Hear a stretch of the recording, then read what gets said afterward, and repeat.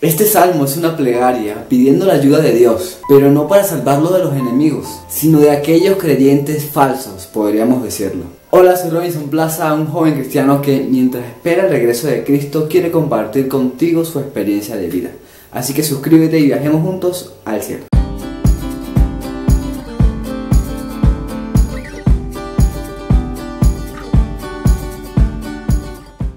Pensaríamos que esta plegaria de ayuda al Señor es porque David se siente agobiado por sus enemigos. En esta ocasión la ayuda es pedida para que lo salve de los creyentes. Creyentes, sí, de los creyentes, no de los creyentes fieles, obviamente. El versículo 1 dice, Sálvanos Señor pues ya no hay creyentes fieles, ya no hay hombres sinceros. Entonces podemos ver claramente que el pedido de ayuda es para que lo libre de aquellos creyentes que no son fieles. Busqué tres palabras importantes de este versículo.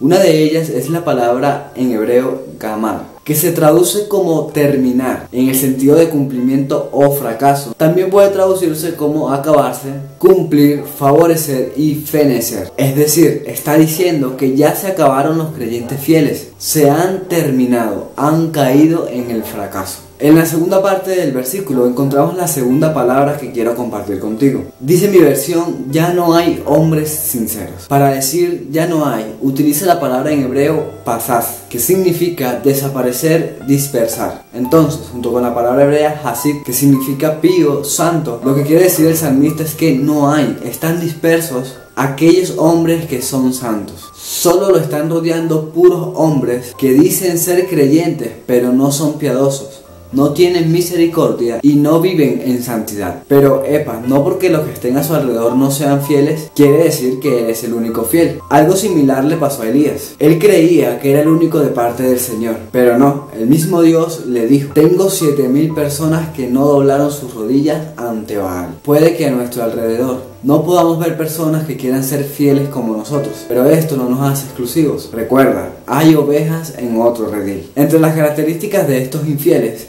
Dice el versículo 2 que entre ellos mismos se dicen mentiras, hablan con hipocresía y doble sentido. Para hablar se utiliza la palabra hebrea dabar, que puede traducirse como aconsejar, referir. Entonces, los consejos que dan, por más que parezcan buenos, están llenos de hipocresía. ¿Qué es hipocresía? Fingimiento de cualidades y sentimientos contrarios a los que verdaderamente se tienen o se experimentan. Es decir, por más que aconsejan, por más que parece que hacen cosas buenas, sus intenciones son falsas. El comentario bíblico adventista dice, no se puede depositar confianza en una persona que tiene un corazón para pronunciar sus palabras y otro para ocultar sus propósitos. Teniendo en cuenta esta característica, te pregunto, ¿conoces o estás rodeado de personas así? ¿O eres una persona así? El versículo 3 y el versículo 4 ponen en manifiesto la idea o el deseo del salmista. Él quiere que el Señor destierre saque de raíz a estos hipócritas y la razón es porque dicen, con tener boca nos basta, nuestra lengua nos defiende. ¿Quién se atreve a darnos órdenes? El comentario bíblico adventista dice al respecto. Usan el habla para lograr sus malos propósitos. Se arman de mentira y engaño. En vez de usar manifiestamente de violencia, dependen de su habilidad de persuasión. Para lograr sus viles propósitos, emplean ese don que Dios quiso que sirviera solo de bendición para la humanidad. De todos los dones que hemos recibido de Dios, ninguno puede ser una bendición mayor que este.